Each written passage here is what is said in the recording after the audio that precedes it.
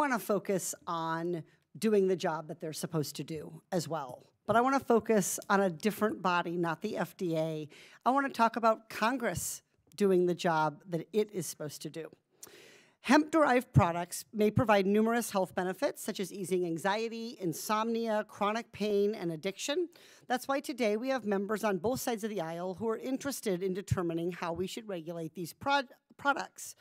Right now, as the chairwoman said, you can buy CBD and other hemp derived products in grocery stores or you can order them online to be shipped anywhere. While this framework provides a great deal of accessibility, it also creates challenges. Because hemp derived products are not federally regulated, they may include not just CBD, but THC, an intoxicant. These products can be sold in packaging that makes them look like traditional snack foods. That can be confusing to adults and children alike who may not want or intend to consume products with intoxicating levels of THC. This is a real problem. In fact, just a few weeks ago, the FDA and the Federal Trade Commission issued warning letters to six companies for illegally selling products containing THC. We should all be able to agree that the federal government needs to regulate hemp derived products in a way that protects our constituents while also making safe products available to them.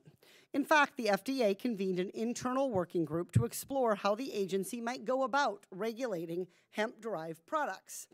After its review, the FDA working group came back and they said, we need a new regulatory pathway for hemp derived products. They even added that they would like to work with Congress. Nobody wants to work with us. they would like to work with Congress to get that pathway set up through legislation. Today, Republicans have convened this hearing because they believe, apparently, that the FDA doesn't need any more authority from Congress to properly regulate hemp derived products. The problem is that some of the same lawmakers who want to do oversight of the FDA for being cautious about its existing powers would turn around and blast the agency if it ever if they ever felt like it went too far beyond its legal authority. Look, we can't have it both ways here.